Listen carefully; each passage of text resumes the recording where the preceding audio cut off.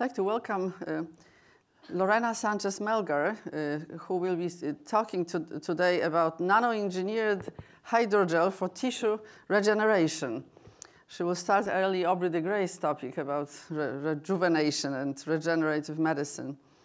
Molecular uh, Nanosystems Research Group is also her uh, research group uh, at Division of Engineering in Medicine, Brigham and Women's Hospital at Harvard Medical School. Welcome. Thank you, Renata. It's a pleasure to be here with everyone. Um, today I'm going to talk about the the development and fabrication of an artificial nanocomposite for skin reconstruction.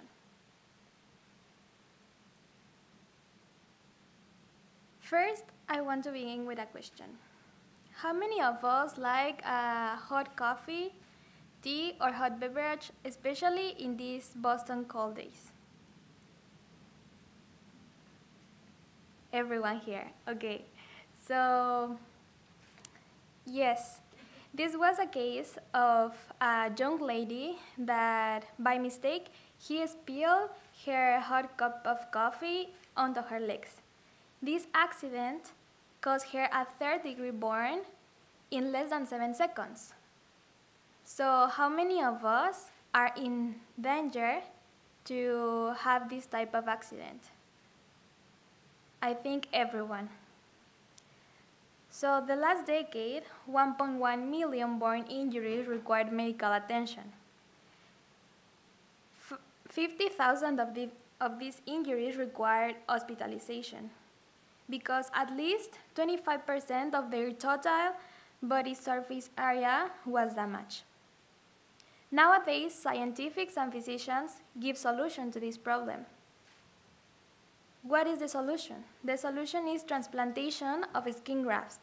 But this method has several limitations.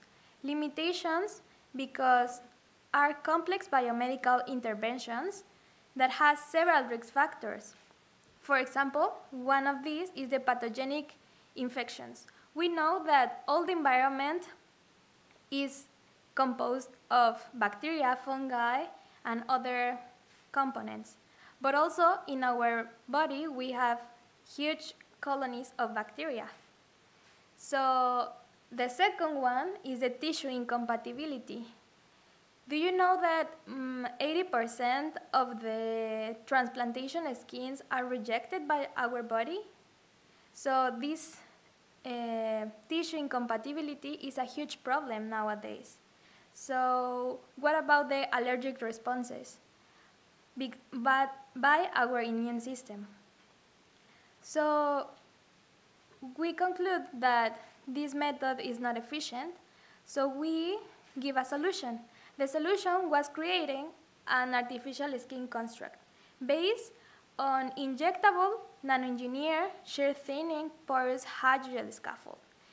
This solution is think rationally this, that this system can be composed of several materials, polymer, that uh, can act synergi synergistically with each other.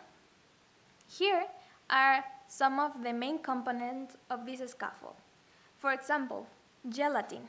Gelatin is the main component of the extracellular matrix of the cells. So this component will favor the cell adhesion the growth and the tissue vascularization of the cells that we put in this scaffold. The second one, we want that this scaffold uh, has mechanical properties that the nanoclay will give stability, but also will promote the shear thinning behavior. That is one uh, characteristic very important for the scaffolds. The third component is a polymer, a polymer that will robust the mechanical stability by a cross-link. And this cross-link will provide by the calcium peroxide. The calcium peroxide not only will give a cross-link to this material, also will create porosity that will help the cells go into the gel and have more uh, protection to grow and to be alive more time. But also this calcium peroxide will provide oxygen to the cells.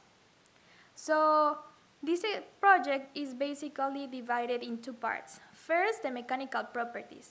As we want that this, uh, this scaffold uh, is stable, we want to do, uh, do several rheology tests. So we do the shear thinning.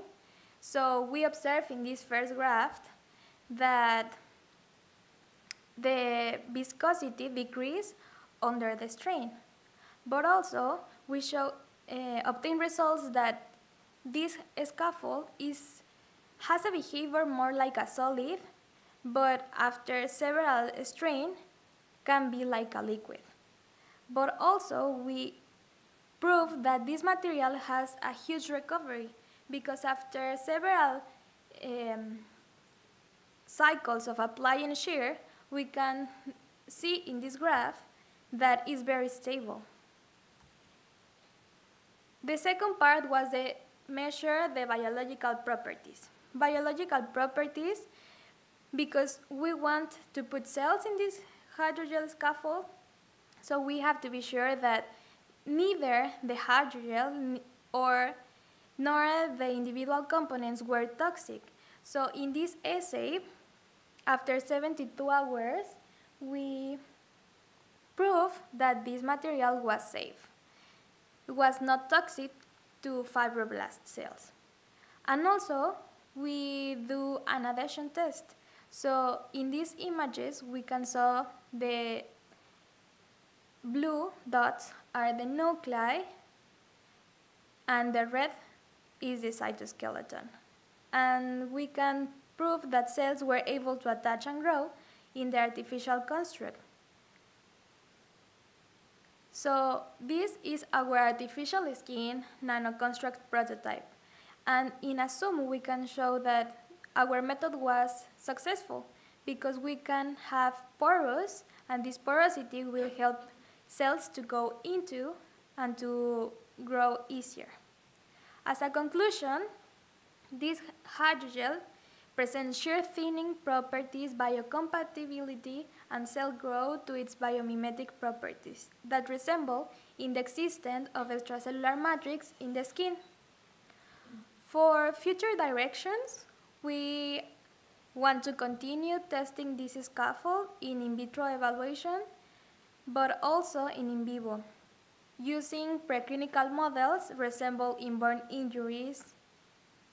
So, thank you.